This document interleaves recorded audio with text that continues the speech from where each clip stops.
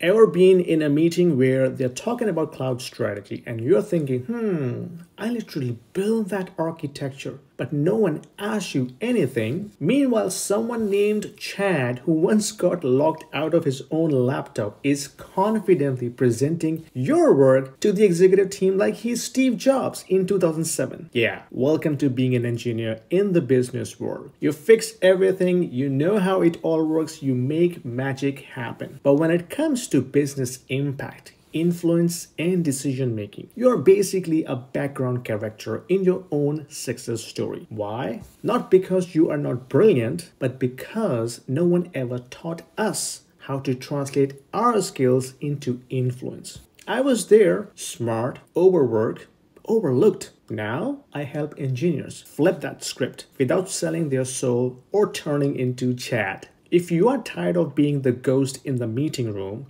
DM me or just drop a ghost in the comment section. We'll take it from there.